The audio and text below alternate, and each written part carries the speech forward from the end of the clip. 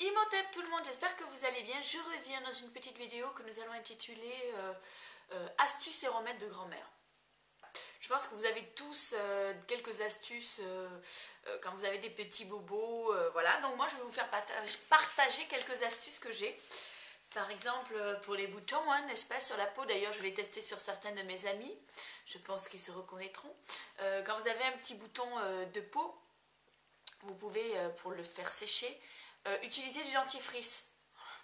Je vous dis pas de sortir avec vos spots de dentifrice parce que là on va se dire mon dieu mais elle a un problème.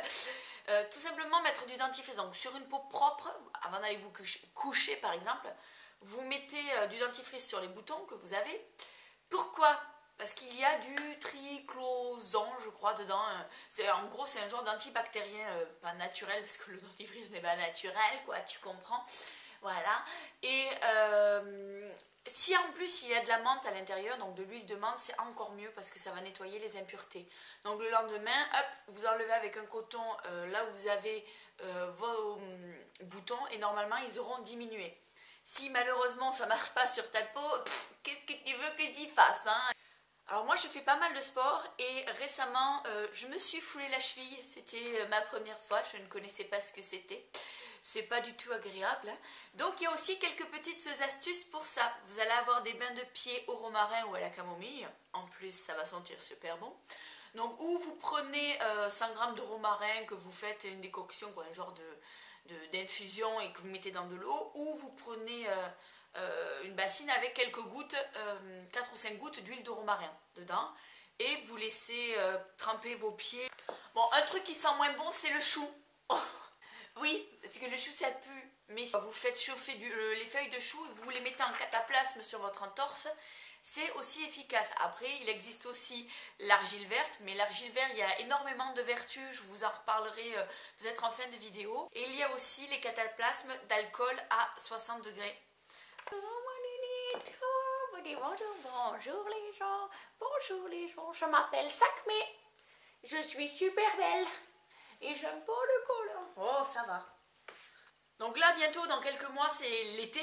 Et l'été, on, connaît tous les coups de soleil. Wouh Alors vous avez le yaourt nature. Alors oui, le yaourt nature se mange, mais s'utilise aussi sur les coups de soleil. Donc vous étalez, en plus c'est bien, ça fait comme une crème sur votre coup de soleil. Vous laissez agir un quart d'heure et vous rincez. Vous avez aussi du lait. Mes monettes. Descends de là. Mes monettes. Viens ici, mes monettes.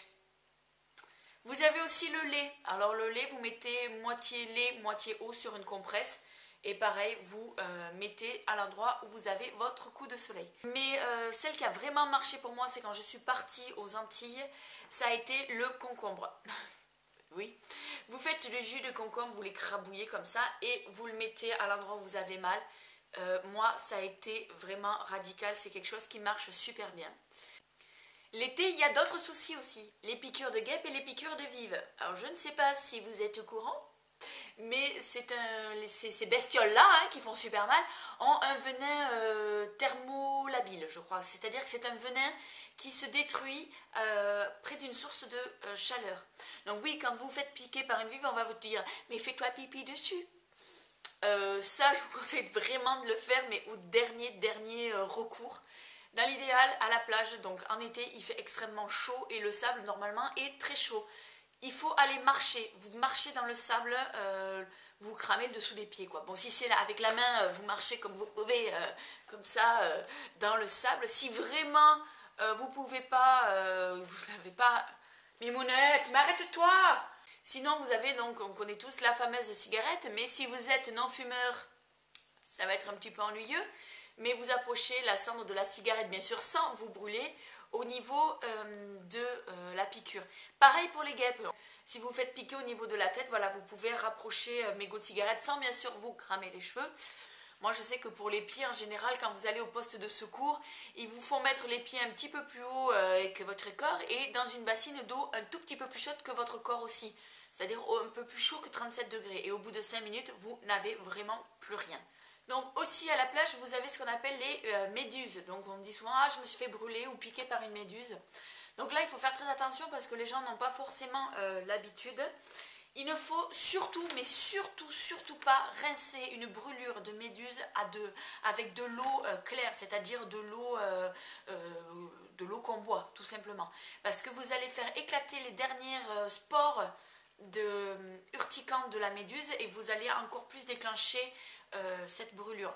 Donc ce qu'il faut faire, c'est de suite rincer avec de l'eau salée, donc de l'eau de mer. Vous prenez de l'eau de mer, vous prenez du sable, vous en passez dessus, vous frottez avec le sable. Si vous avez de la mousse à raser, mais pourquoi on aurait de la mousse à raser? Je vous pose la question à la plage, j'en sais rien. Mais si vous avez de la mousse à raser, vous en mettez dessus pareil et euh, vous laissez agir. Sinon, vous appliquez de la farine, ce qui est un petit peu plus propre à mon avis, et vous pouvez l'emporter dans un petit pot, euh, un petit pot de farine. Vous mouillez, vous mettez la farine, ce qui va piéger les petites particules urticantes de urticaire, urticantes les trucs qui piquent de la méduse. Donc une fois que vous avez mis ça, le, sable ou la mousse à raser ou la farine, vous passez euh, avec la carte, euh, un, truc rigide en fait, une carte bleue ou quoi que ce soit, vous raclez pour enlever tout ça et vous re-rincez avec de l'eau salée. Bien sûr, après, il faut euh, mettre une crème antiseptique et tout ça dessus pour apaiser, mais ça enlèvera du moins les premières brûlures ou vous pouvez mettre euh, de l'huile essentielle sur une gaze, de l'huile essentielle de lavande aspic. Donc je voulais revenir sur euh, deux produits qui sont l'argile verte et euh, le vinaigre. Donc l'argile verte, vous pouvez le trouver sous toutes les formes. Hein. Déjà préparé en tube, vous l'avez en poudre, en petits galets, voilà. L'argile verte saigne, soigne plusieurs choses. Donc par exemple les brûlures, ça évite que ça cloque, ça apaise de suite cette sensation de chaleur. Donc vous le mettez en cataplasme sur euh, l'endroit où vous avez eu votre brûlure et ça va l'apaiser. Vous pouvez aussi l'utiliser sur euh, les blessures, tout ce qui est coups, bosses, euh, bleu, entorse, coupure, plaie ouverte. voilà, ça s'utilise sur toutes les blessures. Oui, parce que l'argile verte va déjà nettoyer votre plaie en absorbant tout ce qui est petit résidu à l'intérieur ça c'est déjà pas mal.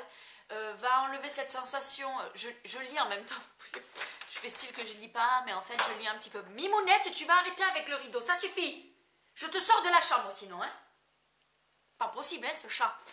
Euh, je disais donc que je fais semblant de ne pas lire, mais je lis parce qu'il y a trop de choses à, à retenir. Et en fait, on va dire que j'ai pas trop le cerveau pour tout retenir, quoi.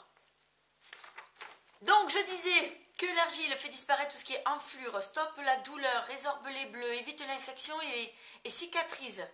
Vous pouvez utiliser l'argile verte après euh, une opération, par exemple euh, une césarienne. Vous en mettez, ça va éviter que ça, que ça gonfle trop. Euh, voilà. Vous pouvez aussi l'utiliser pour tout ce qui est fièvre ou maux de tête. vous mettez un cataplasme au niveau de la nuque ou sur le bas du ventre et euh, ça, va, ça va aider. Un coup de chaleur, par exemple, vous avez eu un coup de soleil, elle est déchaînée, elle. Vous avez eu un coup de soleil ou quoi que ce soit, voilà, vous pouvez le mettre pour les coups de chaleur. C'est euh, très... Bien sûr, l'argile verte, elle peut être utilisée ou chaud ou froide, en fonction du problème que vous allez traiter. N'allez pas mettre un cataplasme euh, froid si vous avez par exemple mal au rein, parce que votre corps va mettre toute son énergie à cet endroit-là pour essayer de réchauffer cette zone-là, alors que ce n'est pas du tout le but. C'est de ne pas épuiser votre corps à réchauffer l'endroit où vous avez posé le cataplasme.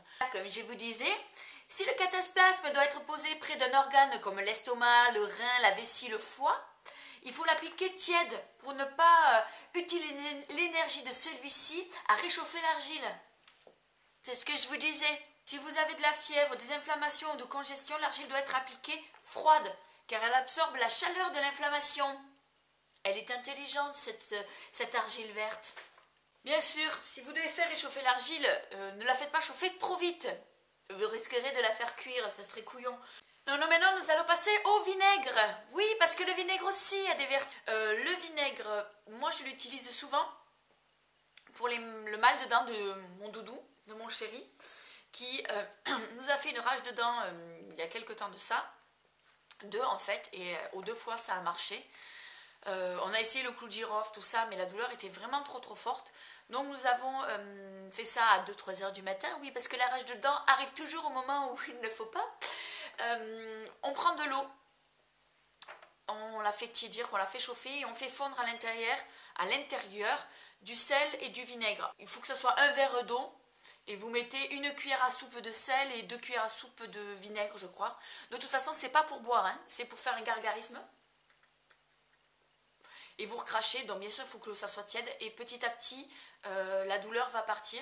C'est vraiment quelque chose qui marche puisque nous, on l'a fait deux fois et les deux fois, ça lui a fait partir sa douleur. Donc le vinaigre soigne aussi le rhume.